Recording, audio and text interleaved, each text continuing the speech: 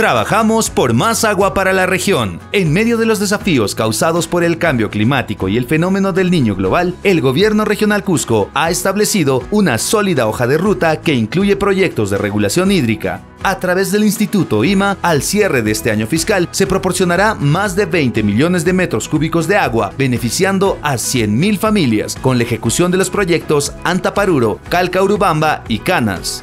Considerando que la dotación de agua es fundamental para la agricultura, mediante el Plan Meris se desarrolla a la fecha 10 proyectos de riego con una inversión de más de 944 mil millones de soles, beneficiando a más de 50.427 habitantes en toda la región a través de la Gerencia Regional de Agricultura, se entregó un innovador proyecto de riego por aspersión impulsado por energía solar que beneficia a 200 familias de agricultores en el distrito de Acopía. Gracias a este sistema, se cobertura 40 hectáreas con riego por aspersión, agua que es trasladada desde la laguna Pomacanchi a más de un kilómetro de distancia con un motor de bombeo activado con energía fotovoltaica. A través de la Gerencia Regional de Recursos Naturales, durante la campaña forestal 2023-2024, se tiene previsto la instalación de de 2 millones de plantas nativas, incluyendo especies como la queuña, chachacomo y pino. El gobierno regional Cusco está comprometido en salvaguardar los recursos hídricos para garantizar un futuro más seguro y próspero para todos los cusqueños.